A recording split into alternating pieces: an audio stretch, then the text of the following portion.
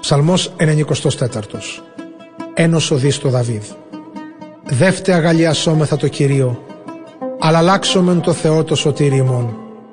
Προφθάσομεν το πρόσωπον αυτού εν εξομολογήσει και εν ψαλμής αλλάξομεν αυτού. Ότι Θεός Μέγας Κύριος και Βασιλεύς Μέγας επιπάσαν την γην. Ότι εν τη χειρία αυτού τα πέρατα της γης και τα ύψη των ωραίων αυτού εισήν. Ότι αυτούν εστίν η θάλασσα και αυτός επίησεν αυτήν και την ξηράνε χείρες αυτού έπλασαν.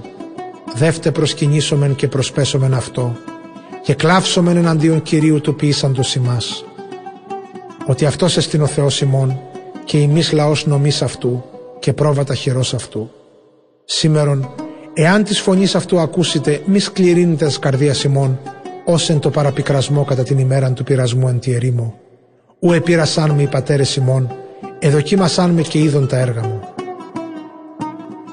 Τεσσαράκοντα έτη προσόχθησα τη γενεά εκείνη και είπα «Αΐ πλανώνται τη καρδία, αυτοί δεούκα έγνωσαν τα σοδούς μου, ως όμως εν τη οργή μου, ή εισελεύσονται στην κατάπαυσή μου.